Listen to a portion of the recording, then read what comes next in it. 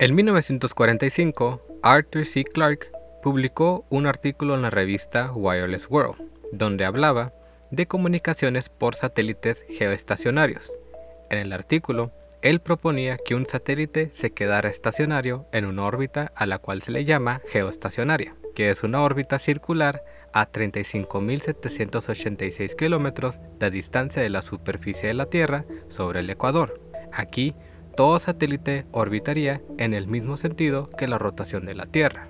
Desde nuestro punto de vista, un objeto geoestacionario parece inmóvil en el cielo, o sea, el satélite se mueve a nuestro ritmo. Por lo tanto, es la órbita de mayor interés para los operadores de satélites artificiales de comunicación y de televisión, debido a que esto garantiza que un satélite artificial siempre estará sobre nosotros, lo que a su vez garantiza una cobertura de estos servicios. En su momento no se consideró seriamente la idea de Clark, porque para muchos esto era ciencia ficción, pero eventualmente se convirtió en realidad, porque prácticamente así es como funcionan los satélites artificiales que tenemos en órbita.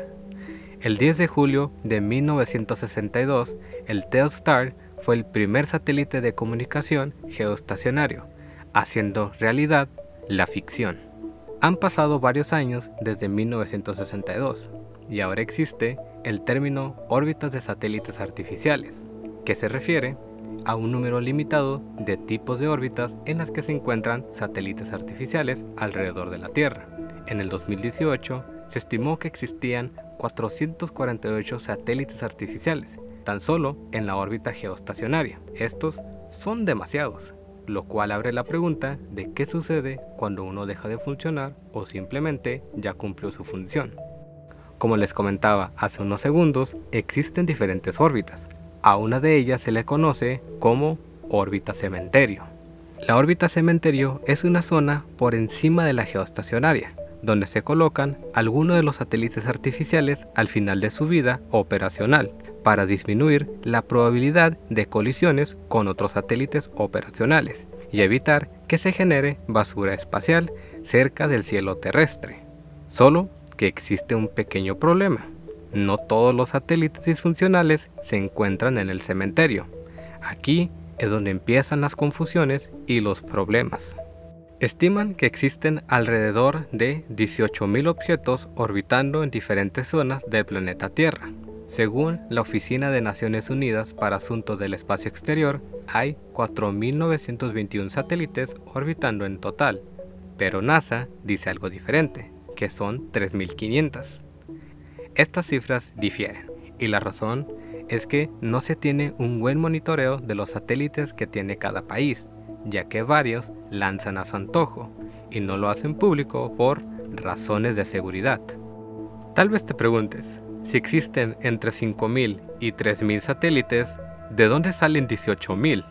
Bueno, pueden ser restos de satélites disfuncionales y cohetes de misiones pasadas. Estos son de varios tamaños, desde el tamaño de una barra de pan hasta el tamaño de un autobús escolar. Por ello, el objetivo del cementerio es tener una órbita que haga fácil la extracción y destrucción de satélites disfuncionales. Pero, ¿qué pasa si un satélite disfuncional o funcional choca con otro? El daño puede ser leve, pero con repercusiones serias. Si estos satélites son de comunicación o televisión, te quedas sin internet o sin ver tu novela favorita.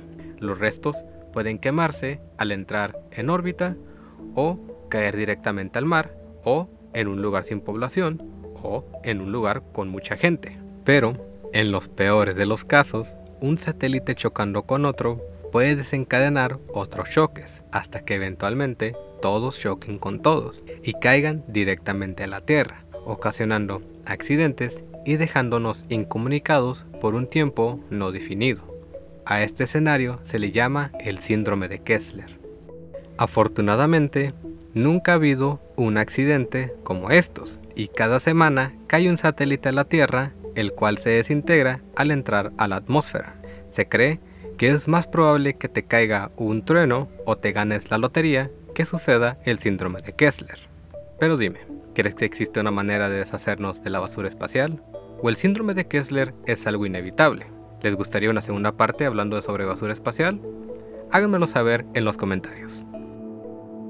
Quiero agradecerle a mis Patreons como Ángel Méndez, Daniel Lebot, Daniel Álvarez, Héctor Pulido, Maximiliano Camilo, Senca007, Juan González Fernández y a Yago Galleta por ayudarme a ir al espacio a recolectar basura espacial para estudiarla para este video. ¿Qué? ¿No me creen? Pregúntenles. Ya sabes que si quieres apoyarme, solo tienes que ir a Patreon My Machine TV. Muchas gracias y hasta la próxima. ¿Qué? ¿No me creen?